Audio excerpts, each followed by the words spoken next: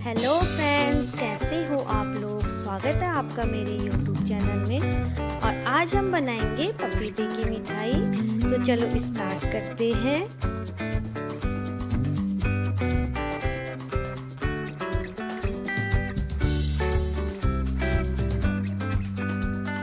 मैंने ये पपीता छिलकर कट करके ले लिया है। और अब हम इसे मिक्सी जार में पीस लेंगे।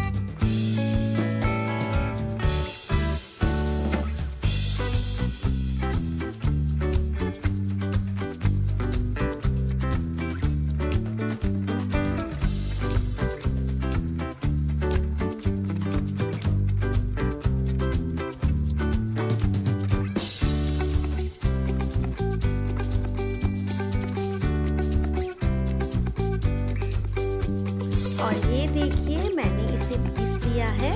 और अब हम, अब मैंने थोड़ा कस्टर्ड पाउडर पानी के साथ अच्छे से घोल कर मिक्स कर लिया है।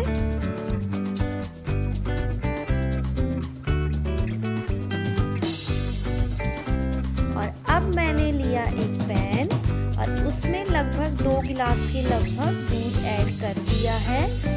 और मैंने ये उबला हुआ दूध लिया था तो मैं इसे ज़्यादा नहीं उबालूँगी। और अब मैंने इसमें चीनी ऐड कर दी अपने स्वाद अनुसार। और अब मैं इसमें पपीते का जो पेस्ट बनाया था, उसे ऐड कर लूँगी। और इसमें थोड़ा सा फ़ूड कलर ऐड कर लूँगी।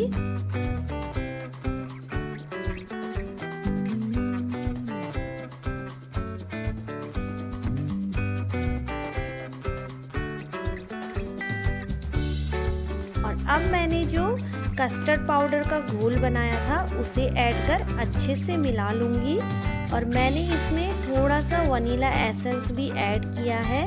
और अब हम इसे अच्छे से पका लेंगे जब तक ये गाढ़ा नहीं हो जाता। और आप इसमें घी भी ऐड कर सकते हैं। और अब मैंने लिया एक कटोरा और उसे तेल से थोड़ा ग्रीस कर लिया था।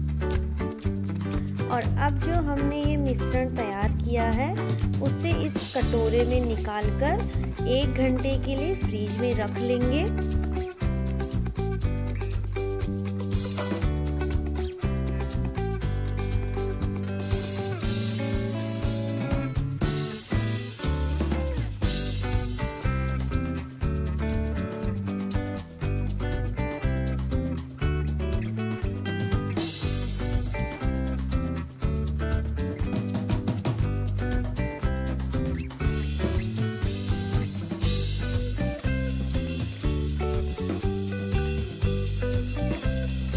और ये देखिए, मैंने एक घंटे बाद इसको फ्रीज से निकाल लिया है।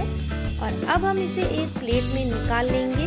और ये देखिए कितनी सुंदर लग रही है। बिल्कुल केक की तरह आप इसे सजा भी सकते हैं ड्राई फ्रूट से, पर मैंने इसे ऐसे ही कट कर रही हूँ।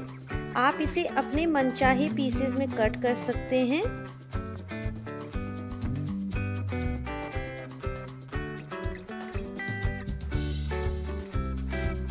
और अगर आपको वीडियो पसंद आए तो लाइक शेयर सब्सक्राइब करना ना भूलिएगा।